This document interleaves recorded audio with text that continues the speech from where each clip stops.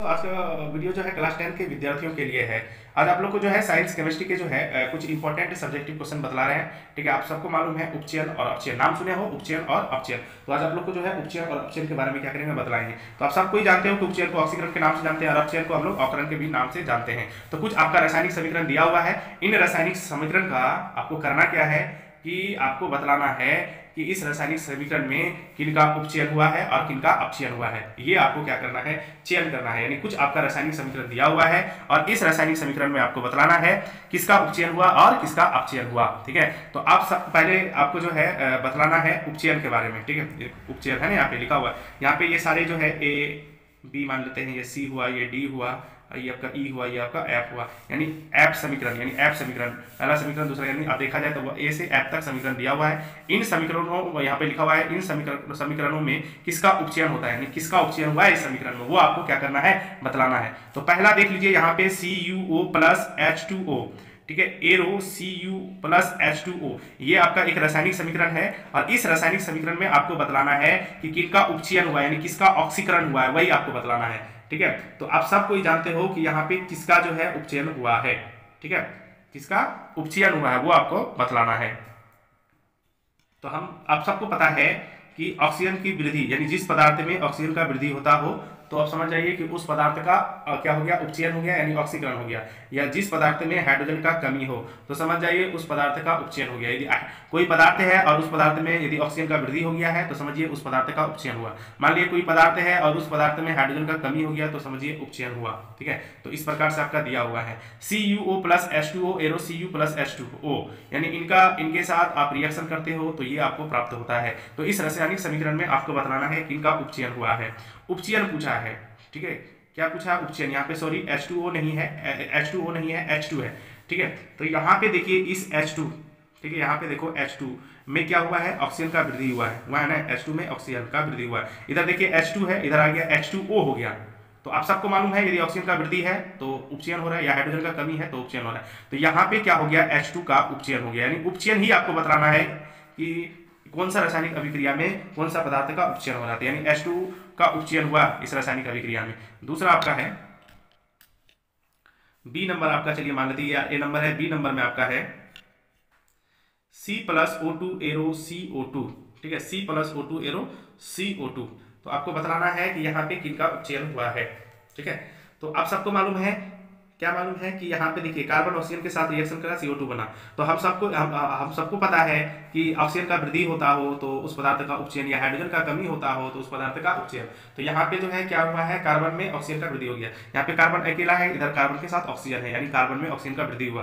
तो यानी कार्बन का क्या हो गया उपचयन हो गया। उपचयन यानी उपचयन को ऑक्सीकरण भी बोलते हैं यानी कार्बन का ऑक्सीकरण हुआ। चलिए तीसरा देखिए सी में एस प्लस ओ टू यानी सल्फ़र को ऑक्सीजन के साथ रिएक्शन करा तो आपका क्या मिला एसओ टू मिला। सल्फ़र का ऑक्सीजन के साथ रिएक्शन करा तो एसओ टू मिल गया ठीक है? तो यानी यानी सल्फ़र में इधर देखो तो ऑक्सीजन का वृद्धि हो गया। तो एस का क्या हो गया? उपचयन हो गया। एस का क्या हो गया? उपचयन हो गया।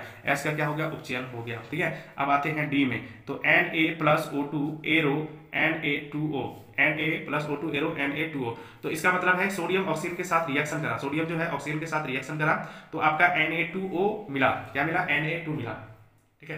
यानी सोडियम को ऑक्सीजन के साथ रिएक्शन करा तो आपको क्या मिल गया? एन ए टू ओ ठीक है यानी सोडियम में ऑक्सीजन का वृद्धि हो गया। सोडियम में क्या हो गया? ऑक्सीजन का वृद्धि तो यानी सोडियम का क्या हो गया? उपचयन हो गया। सोडियम का क्या हो गया? उपचयन हो गया। यानी सोडियम में देखिए इधर ऑक्सीजन है तो यानी सोडियम का उपचयन। ठीक है, अब एक और है H two S H two S plus C L two arrow H C L plus S ठीक है तो ये समीकरण आपका दिया हुआ है। H two S plus C L two arrow H C L plus S तो इधर आप देखिए यहाँ पे क्या हो रहा है। ध्यान से आप देखोगे बाबू यहाँ पे एच टू एस है। है ना यहाँ पे एच टू एस तो यहाँ पे देखिए, आप एच टू एस में आपका हाइड्रोजन का कमी हो गया। यानी अब देखिए ये दोनों अलग हो गया। इधर देखिए सल्फ़र अलग। है ना? अलग हो गया सल्फ़र ठीक है? तो एच टू एस में इधर आने के बाद सल्फ़र अलग हो गया, यानी एच टू एस में हाइड्रोजन का कमी हो गया। तो इस कारण से एच टू एस का क्या हो गया? उपचयन हो गया। ठीक है? कोई पदार्थ हो रासायनिक समीकरण में? और उस पदार्थ का यदि, उस पदार्थ में यदि ऑक्सीजन का वृद्धि हो गया हो तो समझना उपचयन। या उस पदार्थ में हाइड्रोजन का कमी हो गया हो तो समझना उपचयन। ठीक है? तो इस प्रकार से आप लोग को याद होना चाहिए।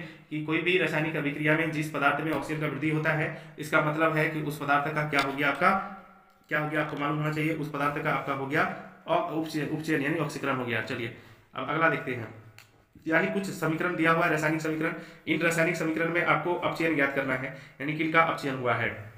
यहाँ पे H2 है प्लस Cl2 है एरो HCl है। यानी हाइड्रोजन क्लोरीन से रिएक्शन करा HCl बना। हाइड्रोजन क्लोरीन के साथ रिएक्शन करा, क्या बना? HCl बना। ये बात आप लोग को पता है? ठीक है। चलिए देखते हैं। यहाँ पे आप देखिए क्या हो रहा है, ठीक है? यहाँ पे देखते हैं कि इस Cl के साथ, यहाँ पे Cl2 है, इधर आने से एस HCl हो गया, यानी Cl में H बढ़ गया, यानी हाइड्रोजन का वृद्धि हो गया, ठीक है? इस कारण से Cl2 का क्या हो गया? अपचयन, पहले अपचयन हो गया।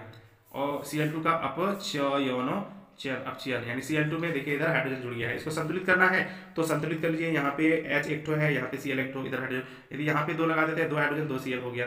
ठीक है तो इससे पता क्या चला कि इधर सी एल अकेला है, और इधर सी एल के साथ हाइड्रोजन है, यानी सी एल में हाइड्रोजन की वृद्धि हो गया। और आप सबको मालूम है कि हाइड्रोजन का जब वृद्धि होता है तो समझिए उस पदार्थ का अपचयन होता है, यानी सी एल टू का अपचयन हो गया। ठीक है?